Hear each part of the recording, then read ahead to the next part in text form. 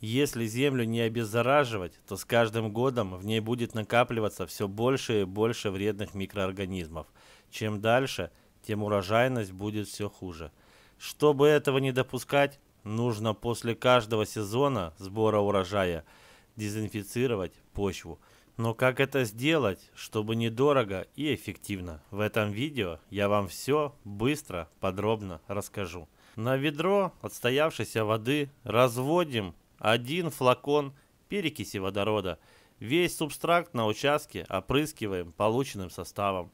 Особо важно обрабатывать грунт для посева семян на рассаду. В этом случае почву обильно проливают перекисью. Также все больше агрономов используют универсальный метод приготовления состава. 2 столовые ложки перекиси водорода 3% добавляют в литр чистой отстоявшейся воды.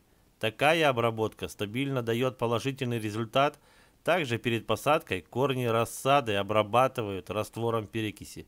Средства смешивают с водой в одинаковых пропорциях.